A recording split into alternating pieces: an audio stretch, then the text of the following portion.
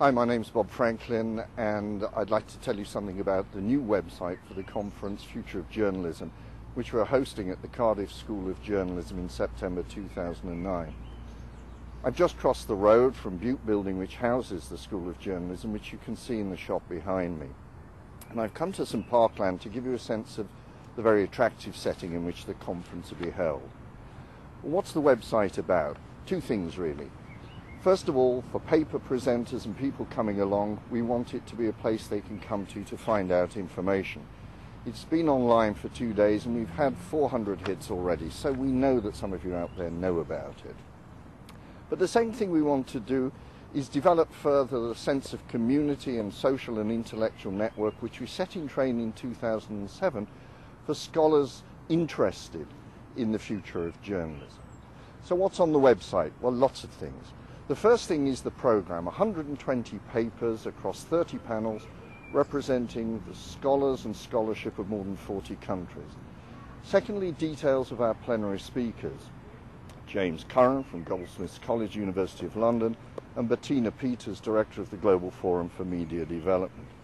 Thirdly, you can download all of the abstracts, but beware, make sure there's a lot of paper in your printing tray. It runs to 67 typed sheets, so you may want to pick and choose on that.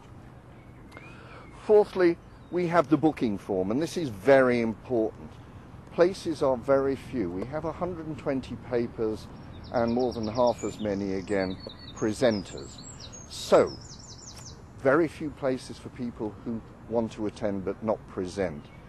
Download the form, complete it, and return it to Cardiff School of Journalism, Future of Journalism Conference quickly. Places are very limited.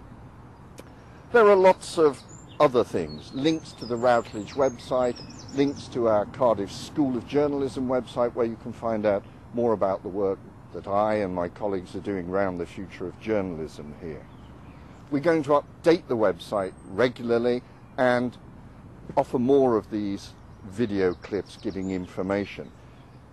In the middle of July, you will be able to download all papers and conference pack, but that will be on an encrypted part of the site available to those only who've paid the booking fee. So, we hope you'll come along. We hope you'll look at the website regularly.